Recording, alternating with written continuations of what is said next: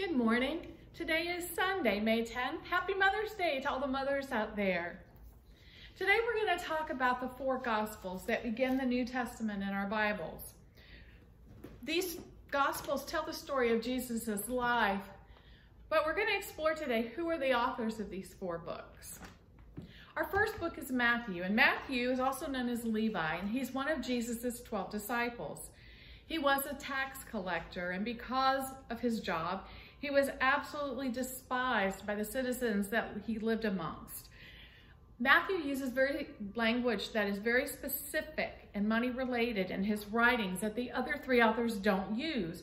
An example is the two drachma temple tax in chapter 17, verse 24, and the Greek word stater in chapter 17, verse 25.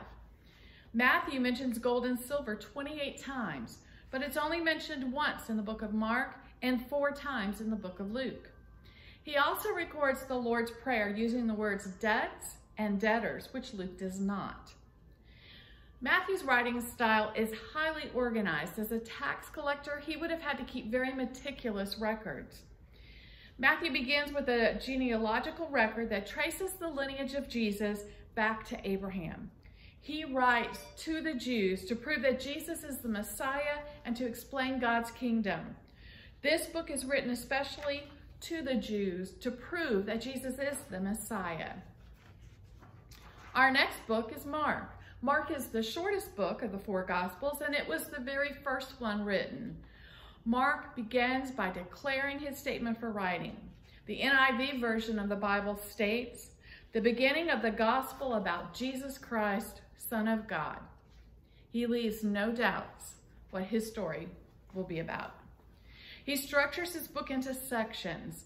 The first section is about Jesus' the servant, and it details stories about the signs and wonders that demonstrate that Jesus is the Son of God. His second section, you could title that one Jesus the Ransom. And this one contains the story of Jesus' suffering and his death. The third section would be the teaching section. It connects the other two and helps us to see how the, the sorrow and the suffering belong together with the signs and the miracles and the wonders.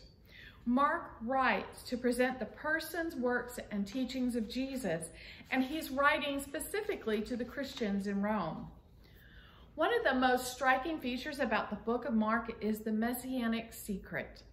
This refers to the times that Jesus asked his disciples or someone else that he's done a miracle for or healing for to keep the secret about his identity or about the miracle performed. And there are eight of those events recorded in this book. So who was Mark?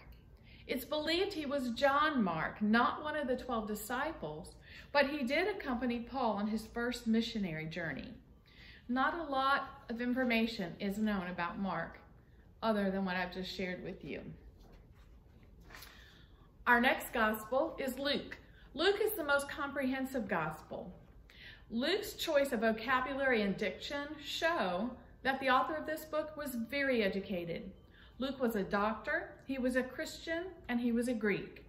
He is the only known Gentile author in the New Testament. Luke was a close friend and companion of Paul, and Luke also wrote the book of Acts. He writes to the Gentiles and to people everywhere. Luke affirms Jesus' divinity, but the real emphasis of the book is to show Jesus' humanity as well. As a doctor, Luke was a man of science, and as a Greek, he was a man of detail. He begins and he opens his book by outlining his extensive research and explaining that he is reporting the facts. Luke makes frequent um, references to illnesses and diagnosis, and Luke stresses the relationship that Jesus had with people.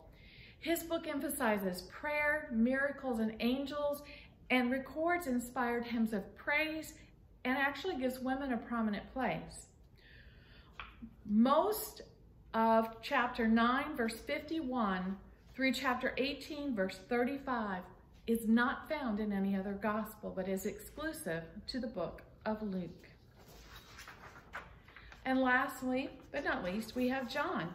John is John the Apostle, son of Zebedee, brother of James, and called a son of thunder. He's the author of this book. He was a fisherman in Galilee who Jesus called to be an apostle.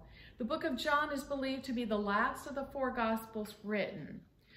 John writes to new Christians and those searching non-Christians who want to find out more about Jesus.